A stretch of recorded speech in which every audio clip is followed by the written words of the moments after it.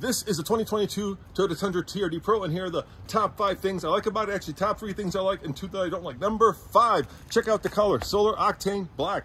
That is one badass color. Come on with me.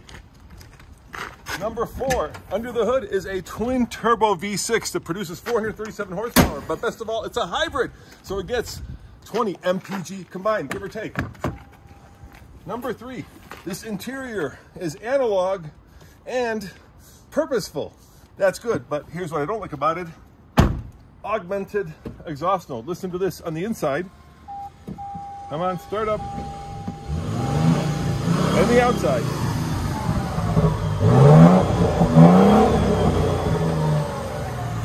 And the number one thing I don't like about it, dampened tailgate, of course, is that it costs, get this, $69,000. That's a lot, but that's a lot of truck.